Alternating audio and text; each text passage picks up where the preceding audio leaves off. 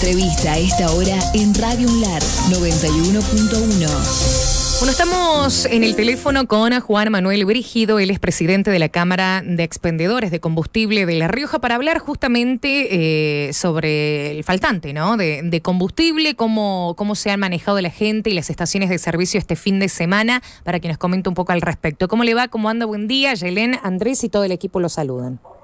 ¿Qué tal, Yelén, Andrés? Buen día para ustedes, su equipo.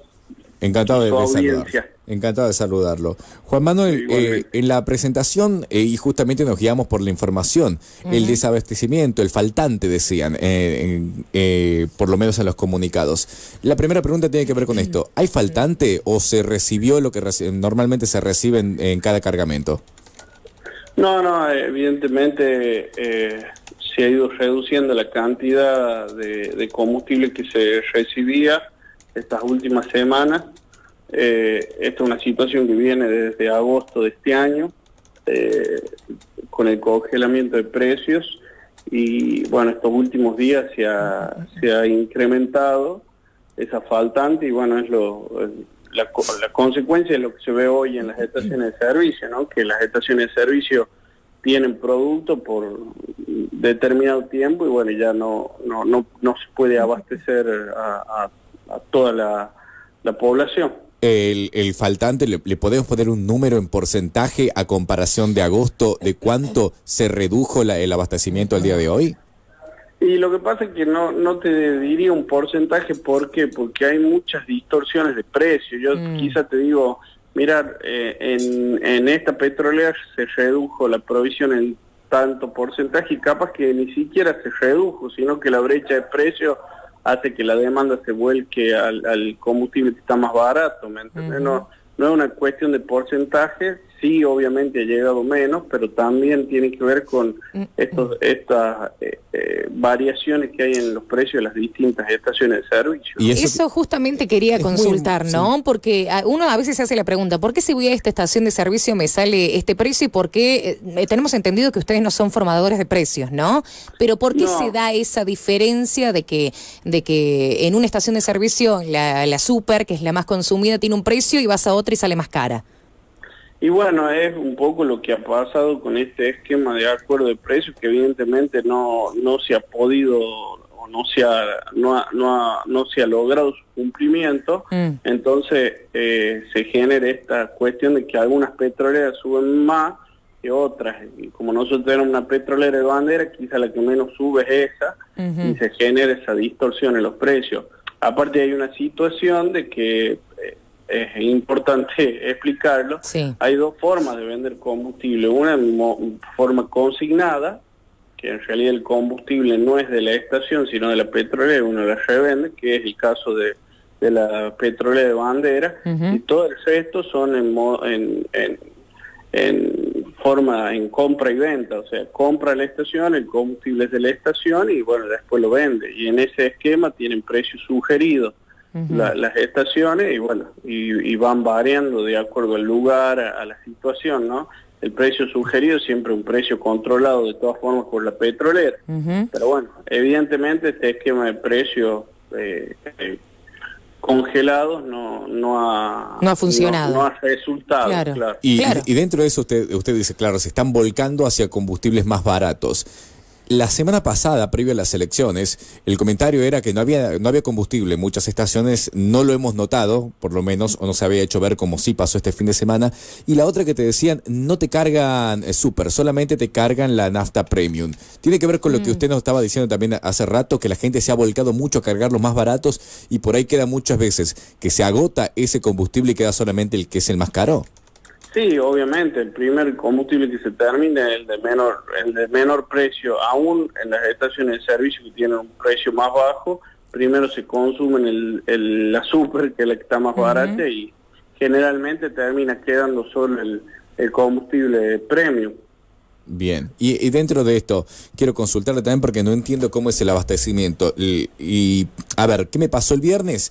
Hice fila, cuando llego a cargar, me tocó que justo se acabó la nafta en ese momento y me dice, no hay nafta de ningún tipo, sí hay gasoil. ¿El abastecimiento de gasoil y de nafta están de la mano? ¿Es, ¿Es el mismo? ¿El problema es solo con la nafta y la gente que tiene gasoil salió a cargar loca por si acaso y también se desabasteció por eso? ¿O no tiene que ver eh, obligatoriamente? No, no, la faltante general, eh, de los productos en general, este, lo que pasa es que eh, nosotros tenemos un mercado mucho más grande de vehículos y entonces las naftas son más requeridas, mm. pero la, la faltante es de todos los productos. Eh, este, mucho, mucho se siente en el caso de las naftas, ¿no? Pero mm. bueno, eh, estamos en teoría, o por lo que estamos viendo, por los indicios que tenemos, está en principio solucionar. Lo que pasa es que, bueno, esto máximo en una provincia del norte eh, toma unos días, no va a ser, qué sé yo, mañana que esté solucionado el todo, pero ya vamos a ir, eh, ir eh, en, vías de, de, normalizar la situación, calculo hacia el fin de semana. Usted en su estación de servicio, ¿para cuándo espera el camión? O el reabastecimiento? Nosotros hemos descargado ahora eh, hace dos horas, pero bueno, es como le digo, eso nos va a durar una hora más. Estamos despachando hace hora y media y puede durar tres horas, entre tres y cuatro horas, lo, lo que generalmente dura entre tres y cinco, lo que dura lo que traen, ¿no? Bien, usted nos decía eh, recién que me parece importante em, reiterarlo. A ver, si bien eh, por parte del gobierno de la provincia han anunciado que mañana empezaría a normalizarse, no quiere decir que mañana se soluciona absolutamente todo, ¿no? Sino que hasta el fin de semana ahí recién encontraríamos como la normalidad a la hora de cargar combustible. Sí, por eso, o sea... Digo por la paciencia, ¿no? Para que tengan paciencia, porque capaz que la gente lee un comunicado y dice, no, ya mañana lo, solucionamos y no. es importante saber nosotros. Claro. es importante el mensaje de que la solución va llegando para que también eh, baja la ansiedad en la, en la población, que la verdad está este fin de semana ha sido para el olvido para nosotros como estacioneros, porque se han dado muchas situaciones en las mm. estaciones de servicio, sobre todo en el momento que hay que cortar el suministro porque ya no queda más. Eh, ha habido muchas mucha hostilidad por algunas por, y es entendible también no no no no voy a culpar a la población pero mm. bueno eh, me parece importante este mensaje aunque no no eh, esta noche no va a tener solucionado el problema pero es importante llevar tranquilidad para que la gente también entienda que en los próximos días ya esta situación va a ir en, vías de solucionarse, ¿no? Bien. Eh, yo quiero volver a algo que, dijo usted que creo que es fundamental, que el congelamiento de precios no, no funciona, no sirve. Eh, la semana pasada, el lunes, amanecimos con un aumento de las naftas en IPF. Se subió la nafta ya a pesar de que había un acuerdo de congelamiento. Hasta el 31 de, octubre. Y el, acuerdo es hasta mañana. O sea, los camiones van a, van a llegar entre mañana, pasado van a llegar y seguramente vamos a volver a cargar con un aumento que ya está por fuera del acuerdo con el gobierno. No, eh, eso también yo creo que jugó un poco la psicosis de la gente, es decir, cuando vuelva a haber nafta va a estar mucha más cara. Eh, ¿Va a ser así, digamos? ¿cuánto, tiene que subir la nafta para que esto se acomode? Eso quiero saber. No, mire, eh, información de cuánto cuánto va a subir, cuándo va a subir, no, no la tenemos, porque lo que ya les dije, nosotros no, no somos formadores de mm. precios este, y no, no tenemos esa información. Sí le podemos decir que el precio está bastante atrasado, calculamos entre un 30 y un 40% esté atrasado. Esto no quiere decir que mañana a la noche va a subir un 30%. Eh, en, el, eh, a ver, en el escenario que estamos, mucho menos creo que pueda subir esa cantidad. Eh, Incluso hay quienes dicen que no va a subir mm. hasta, hasta, hasta fines de noviembre, pero bueno, eh, no es una información que la tengamos ahora. Este, pues, sabemos que sí vence este acuerdo y veremos si hay, hay un, un sinceramiento de los precios, ¿no? Eh, usted decía que están cargando en la estación de servicio, eh, si no me equivoco, es Castro Barros y Perón, ¿no? En este momento. Están, están cargando, está con combustible más o menos para una hora más al ritmo que se está cargando es lo que es lo que va a restar. ¿Tiene información eh, a dónde más se puede cargar combustible en este momento? Y de lo que yo estuve viendo en, en, la, en Rivadavia están cargando, este, en Refinor, pero no, no, ¿sabe lo que pasa? Que tampoco es prudente dar... Este, claro, porque capaz que este, llegas y no. La, o llegas y no, o volcas el, el, eh, la demanda de toda la ciudad en una sola estación y obviamente no tiene capacidad. Ya eso excede solo el problema del combustible, sino que empieza a, a, generar un caos de tránsito. Mm, imagínense, yo le digo, en pleno centro hay combustible, vayan ahora y se va toda la ciudad a cargar combustible ahí, va a generar... A mí mismo me ha pasado el día sábado que quedé atrapado en una, una calle céntrica porque la gente esperando cargar se, se ponía en en la senda de, de, en lugar de al, costado se pone en el medio de la calle, no podía circular. O sea, usted entró a la fila sin querer, digamos. Claro. Sin querer se puso en fila.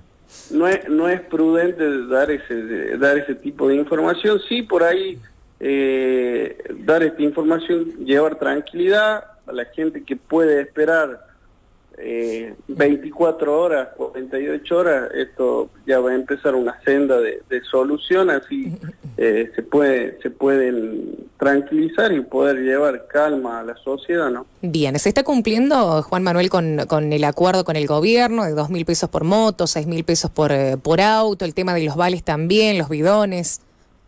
Sí, eh, esto ha sido algo que se ha hecho en concordancia el día sábado eh, por, por, por lo, la emergencia de la situación y bueno, solamente lo, esta, esta cuestión de los vales ya veníamos sin comercializar vales, eh, solamente los vales para, para emergencia, bueno, lo que pasó ahora es que tuvo carácter de obligatoriedad y el y el Estado se comprometió a no enviar otros estamentos que no sean de emergencia para cargar combustible, ¿no? Entonces se están cumpliendo esta medida, esperemos tener que levantarlas lo antes posible, si esto encuentra una vía de solución, calculamos que ya como les decía, sobre el fin de semana se, se, comunicará y se dejará sin efecto esto, ¿no? Bien, perfecto. Y desde la Dirección de, Comercio Interior, ¿están realizando el recorrido por las estaciones de servicio para verificar el stock? Sí, sí, sí desde el día de ayer eh, están haciendo, no sé si el mismo sábado ya, están haciendo el recorrido y verificando que que bueno, que los que tengan pongan a disposición del, de, la, de la gente el producto, ¿no? ¿Y los precios?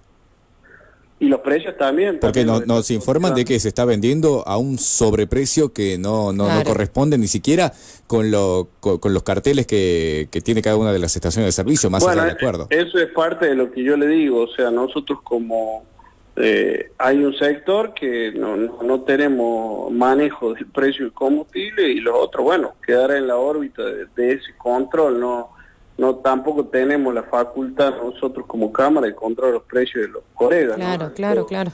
Será facultad de que la Secretaría de Comercio claro, ellos vaya registrando. Bien, eh, esto, esto lo, recién usted me decía que, hace que hoy tuvieron una descarga de un camión.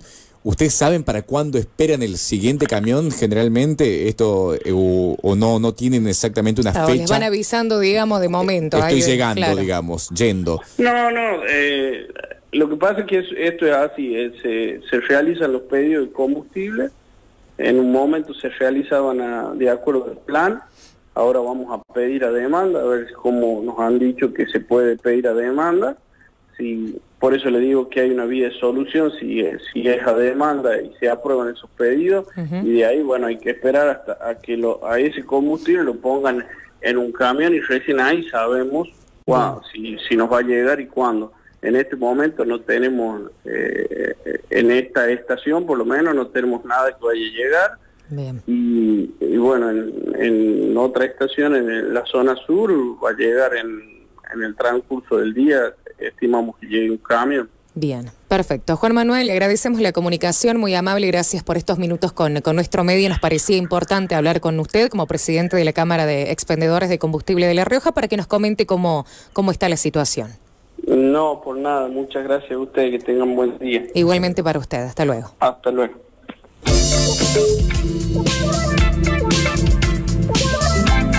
Muy bien, hablábamos con Juan Manuel Brigido, él es el presidente de la Cámara de Expendedores de